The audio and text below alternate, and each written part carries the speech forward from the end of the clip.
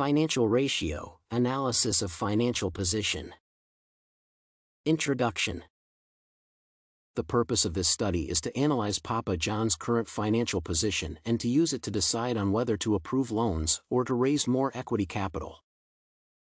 Overview Papa John's is the third largest firm in the pizza industry in the United States, after Pizza Hut and Domino's Pizza.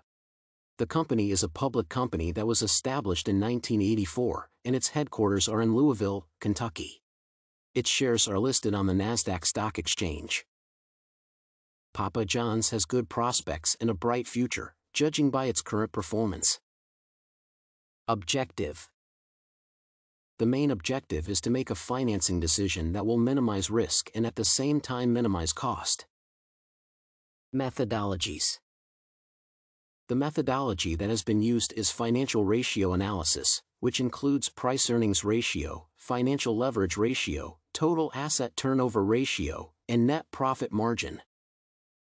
Analysis From the computation of the net profit margin for the three years, we can see that this ratio improved from 2.51% in year 1 to 4.75% in year 2 and 6.33% in year 3 the net profit margin has therefore been improving, but at a declining rate, because the percentage increase in year 3 is less than that in year 2. However, compared to Domino's and Yum! Brands Incorporated, Papa John's takes the third position because, in the third year, Yum! Brands Incorporated is leading with a net profit margin of 8.62%, while Domino's takes the second position with a net profit margin of 7.39% the total assets turnover ratio improved from 2.56 in year 1 to 2.67 in year 2 and 2.74 in year 3. This shows that the company's ability to generate revenue from its assets has been improving over the years, although the improvement has been quite marginal. The financial leverage ratio remained constant at 2.42 during the first two years, before reducing to 2.37 in year 3. Compared to Pizza Inn and California Pizza, Papa John's takes the second position because, in the third year, Pizza Inn has the highest financial leverage ratio of 3.73%, while California Pizza has the lowest financial leverage ratio of 1.44%. Going by the financial leverage ratio in comparison with the other firms in the industry, there is still room for Papa John's to raise more debt funds.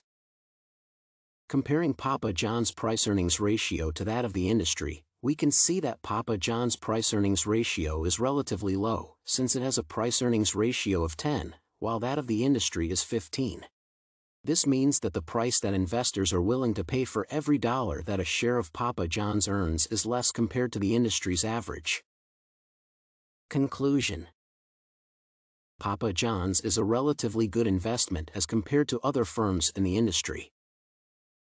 As regards the decision on whether to raise more equity or debt funds, there is still room to borrow more. However, there is a need to consider the advantages and disadvantages of equity funds as follows. Advantages of using equity funds. Permanent capital. Equity financing is a permanent source of capital because ordinary shares are not redeemable, therefore, the funds raised from this source are available for use as long as the company is in existence. Dividend Payment Discretion Payment of dividends is normally at the discretion of management. Avoiding financial distress. When a company uses debt financing, it is constantly exposed to financial distress which may come as a result of defaulting on loan repayments. Flexibility. Debt contracts usually have some restrictive covenants which prevent the company from raising additional debt funds, or disposing of its fixed assets, or paying dividends to equity holders. Disadvantages of using equity funds. Loss of tax benefits. When calculating profit before tax for tax purposes, companies are normally allowed to deduct interest on debt funds as an expense, thus reducing the amount of income to be taxed, and eventually reducing the amount of tax to be paid by the company dividends paid to equity holders cannot be deducted from income in arriving at taxable income, which means that a company that only uses equity funds would pay more tax than a similar company that has the same gross income but also pays interest on the debt.